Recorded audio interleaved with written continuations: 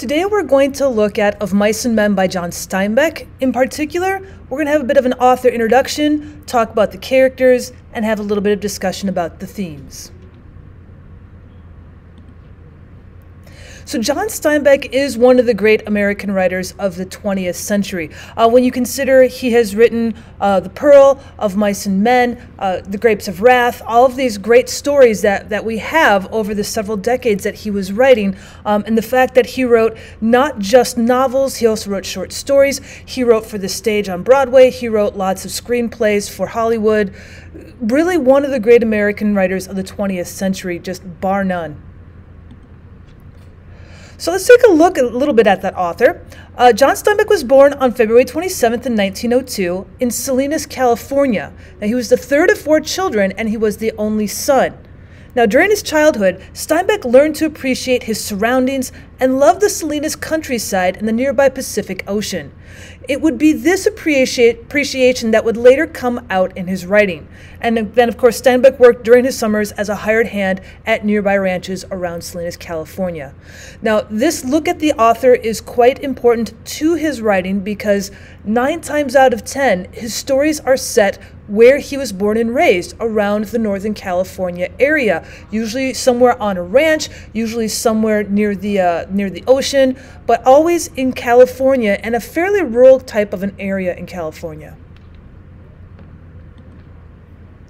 And so, as we take a look at some of these pictures, we're taking a look at California ranches, in particular, when John Steinbeck would have been alive, uh, what he would have been seeing, the people that he would have been talking to, the people he would have been working with. Uh, even as an author, he would sometime uh, take some time off and go off into the fields for a day or two just to get the lay of the land, just to get the feel of the workers, so he could come back and write more expressively and more realistically. Now, the beauty of Salinas, where he grew up himself, uh, California is just an absolute climate unto itself. We have the mountains, we've got the valleys, you have uh, very beautiful snow capped uh, white snow, um, you've got the oceans where it is always quite warm, um, they've got plenty of rain, there's other places where it does, it's almost desert like. And so when you think of California, it's just this cosmopolitan of different climates. But in Salinas, it's a beautiful place for ranches, for farming to be, even today. And so, of course, back in Steinbeck's time, this rich farmland certainly helped create Salinas what it, as to what it was and what it is today. Now, at the age of 14, Steinbeck decided to be a writer and spent a lot of time writing in his room. Now, in high school, he did well in English and he even edited the school yearbook so he kind of knew almost from the start what it is he wanted to do in life.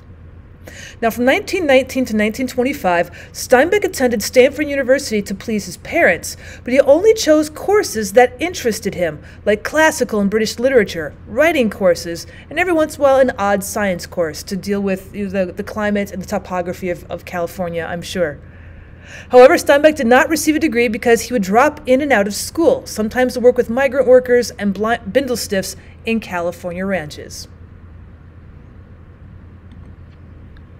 Well, what's a bindle stiff? Well, a bindle stiff is a hobo or a migrant, somebody who carries a bedroll on their back because they're going from farm to farm every few days or every few weeks just to earn enough money to move on to the next place, just looking for enough work so they, they can survive.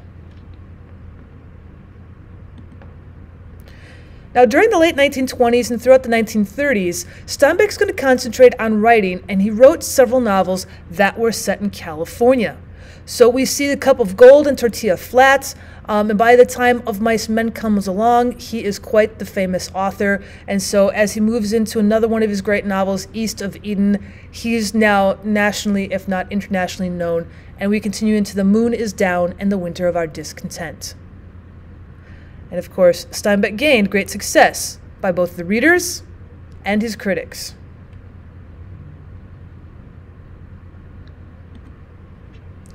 Now, in 1929, he published his first novel, Cup of Gold, and he made enough money that he felt that he could marry. And so in 1930, he married Carol, Carol Henning, and they moved to his family's home. Now, his father helped support the struggling couple, but unfortunately, they're going to divorce in 1942. Now, in 1935, he won his first literary prize, the Commonwealth Club of California Gold Medal, for his best novel by a Californian for his novel Tortilla Flat. But his big time fame came in 1936 when Of Mice and Men was published, and it was so widely accepted that Steinbeck began a book tour that led him to Europe. Now, in 1939, The Grapes of Wrath was published and became an instant bestseller. In 1940, it was awarded the Pulitzer Prize, one of the most prestigious literary awards in the world. Now, this novel, just like Of Mice and Men, stemmed from his experience working among migrant workers. Now, Steinbeck's experiences in the fields researching migrant workers led him to have more compassion for these workers and stirred up his concern for social justice. Now, his second marriage in 1943, he married Gwendolyn Conger, who would give him two sons before their eventual divorce in 1948. And in 1943, Steinbeck worked as a war correspondent for the New York newspaper, the Herald Tribune.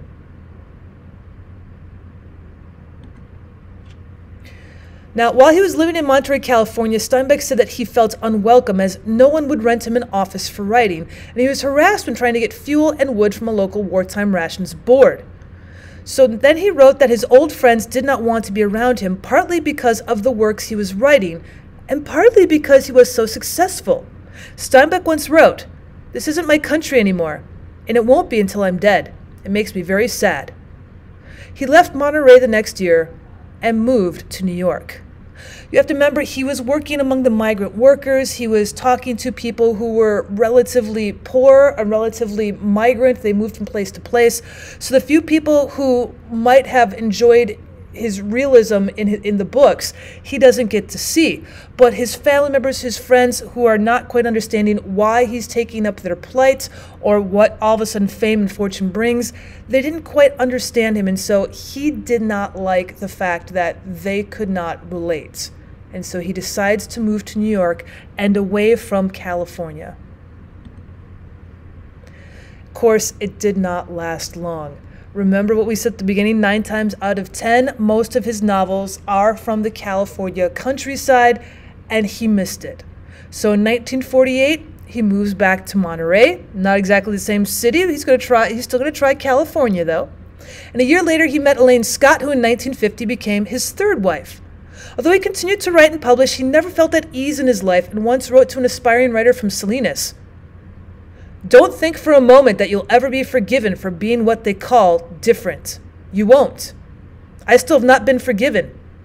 Only when I'm delivered in a pine box will I be considered safe. After I had written The Grapes of Wrath, the librarians at the Salinas Public Library who had known my folks remarked that it is lucky my parents were dead, so they did not have to suffer this shame.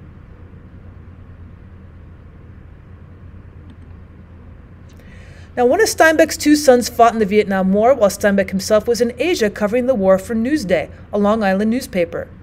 Now, Steinbeck lost a number of friends during the anti war movement due, due, due, to his open support of the war and to America's involvement. His sons went off to war. He himself went off to become a war correspondent, and so therefore he was seen as being if, if there's such a word, pro war. Um, and it was very likely during the later times of the Vietnam War that if you were seen to want the war to continue, for America to try and win out in Vietnam, you probably lost a lot of friends. The anti war movement in Vietnam was big and it was strong. Now, Steinbeck's last two books were nonfiction. He got kind of tired of people telling him that he was doing absolutely great critically, but at the same time, the people he talked to on a daily basis absolutely did not like what he was doing. So he switched over to nonfiction. Travels with Charley in Search of America was an account of his trip from Maine to California with his poodle, Charley. So, his adventures traveling from the east all the way back home to California in the west. That is what the book is on. It is not fiction, it doesn't talk about migrant workers, it is literally him going across the United States. His final book, America and the Americans, was about his belief that in time, America would once again feel united. John Steinbeck died on December 20th, 1968, at his apartment in New York City, and his wife took him home to Salinas to be buried near the land that he spent his life writing about.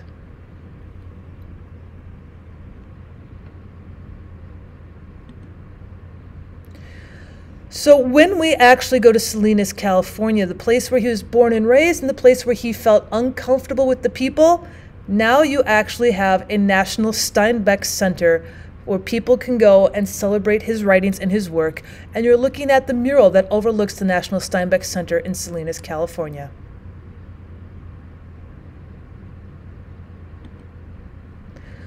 But we are here to start working on Of Mice and Men, and that is actually what I'm going to continue doing in the next video.